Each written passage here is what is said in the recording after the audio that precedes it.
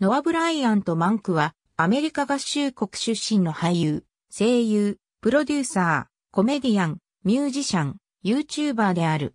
ニコロデオン制作のアイカーリーのギビー・ギブソン役、ABC コメディシリーズ喜劇のそれいけ、ゴールドバーグ家及びスクールド 裸のロブ・スミス役で知られる。カリフォルニア州ミッションビエホ出身。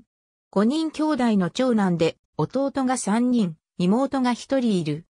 10歳の頃から子役として CM やドラマに出演。2007年に放送された All of Us の第1話ゲストのプレイヤー役でテレビドラマ初出演を果たす。2007年より開始されたニコロデオン制作のコメディドラマシリーズアイカーリーでは第3話より出演し、主人公カーリーとサムとフレディの親友ギビー、ギブソン役に抜擢され、本格的に俳優デビュー。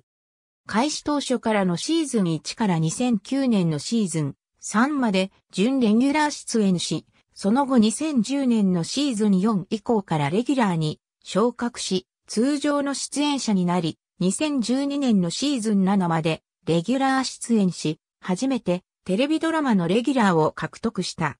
その後、アイカーリーのギビー役で、2014年にはスピンオフ、サムキャットにも同役でゲスト出演している。2013年5月27日に公開されたテレビ映画ニッキー・ドゥースでは主人公ニッキー・ドゥース、ニコラス・ボレッリ二世役に抜擢され自身初の映画初主演となった。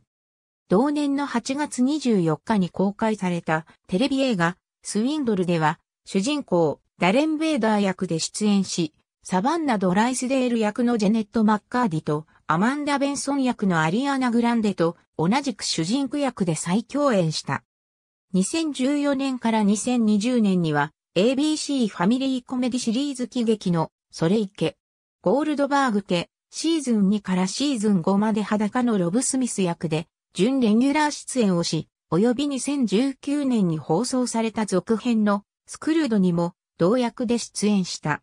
この他俳優業の他動画クリエイターで YouTuber をアップしたり、ミュージシャンで音楽作りをするなどが多い。2014年の秋には、ロサンゼルスにあるカリフォルニア州のバイオラ大学に入学し、シネマ